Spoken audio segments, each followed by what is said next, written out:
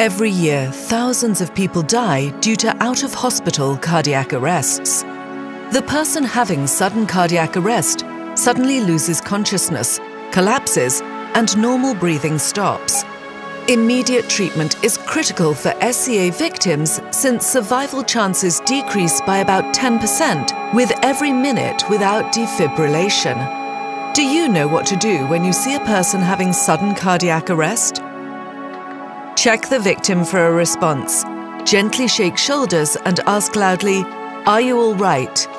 If he does not respond, shout for help, call the emergency number, or ask someone to call.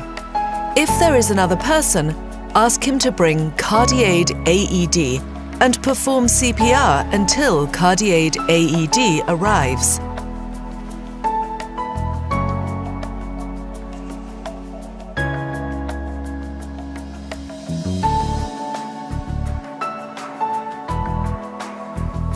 CardiAid switches on automatically when the cover of the device is opened and guides you verbally.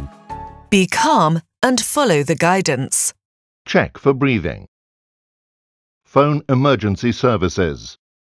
If not breathing normally, remove clothing from chest and stick on electrodes. Stick electrodes on patient's bare chest.